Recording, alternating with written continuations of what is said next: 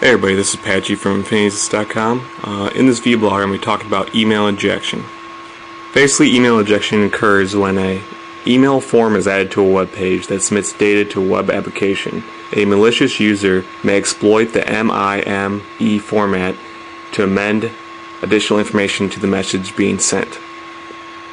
This is possible because the MIME format uses a character return to delimit the information in a message. Adding character return to submitted form data can allow a simple application to be used to send thousands of messages at once. A malicious spammer could use this tactic to send a large number of messages uh, anonymously. An email injection flaw exists in our old forms, and since we recently changed to a new form, I can show you how it works. The old form plugin that I used to use um, for the website allowed you to send emails to any user, kind of as like a, a personal message system. Basically, all you had to do is click on the user to go to their uh, profile page, and then click on the send email option. And then uh, you just typed in some various information, and you're able to send an email to that person. Using the tamper data plugin in Firefox, we can uh, modify posts uh, as they're being sent.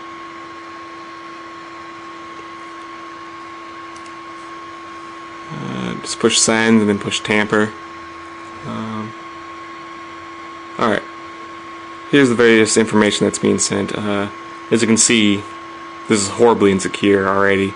It shows the email address of the user you're sending a message to. Um, normally this wouldn't be here because that's just poor security. I could just change this here and send a message to anybody I want.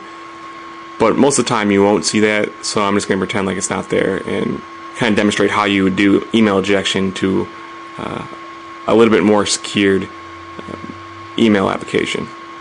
So basically, um, most of the time you would see this reply to address or something like that, some field where you put in your return address. And basically, we can just put in the character return, which is a hex value A. In HTML, that's just percent zero A. So in the MIME format, there's several different header uh, information that a, a, malicious user can manipulate.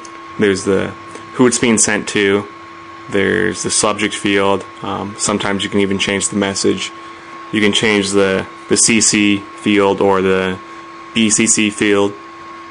And uh, yeah, first thing I'm going to show you is how a spammer could add the to field using the character return and then send emails to several different people.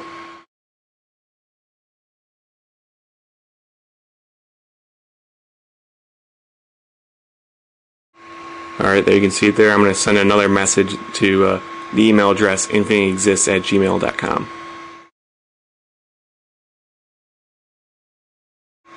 Push OK, OK. And as you can see, the email was delivered successfully. Then I'm going to go over to my Gmail account here and show you that I received the message.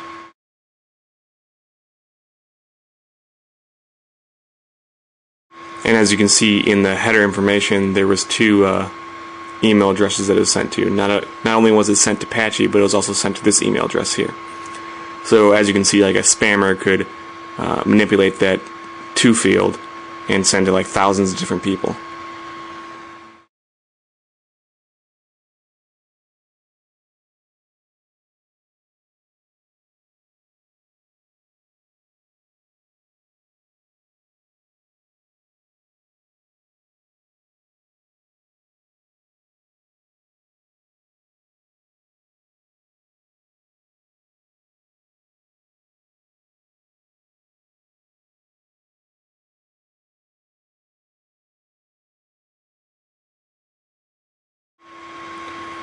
Alright, um, some email applications on websites don't allow you to change the subject of the message.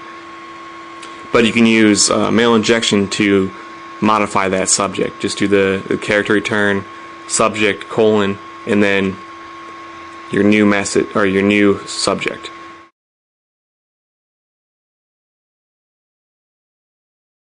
Um, as you can see, I'm using uh, percent 20 to uh, denote spaces. Um, in some web applications, you'll be able to manipulate the message, but the way the this form is set up, you can't do that. But the way that you would do that would be to use two character returns and then just start typing your message. You also could change the content type and allow you to put into like HTML code and stuff like that.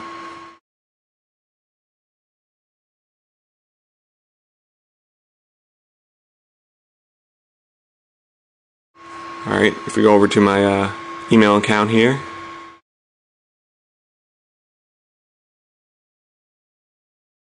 you can see that the subject was changed. Um, if you look at the header, you, you can see that there's two subjects in there and the, the later one overrides the first one. So, um, you know, this is just how a, a spammer could use mail injection to send out mass amounts of spam. The last mail injection attack I'm going to show you uh, wouldn't be used by a spammer, but more of a uh, attacker um, trying to retrieve some information. On some websites, there's a lost password recovery form where you just basically put in your email address and it'll send you back what your password is. Basically, what you can do is you can add the, you can inject the BCC field into the message and then have that password not only sent to uh, the real user but also to you.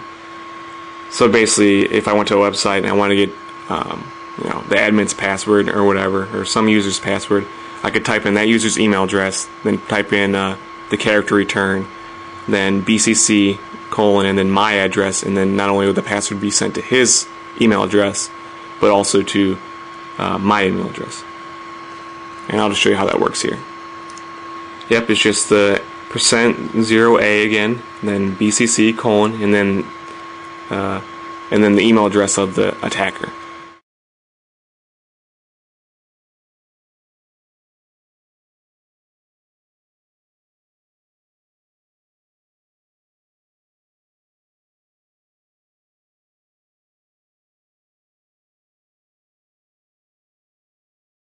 And if I go over to this Gmail account, you can see that the message was also sent to me. And since it's a BCC uh, field, um, the attacker email address uh, doesn't show up in the message.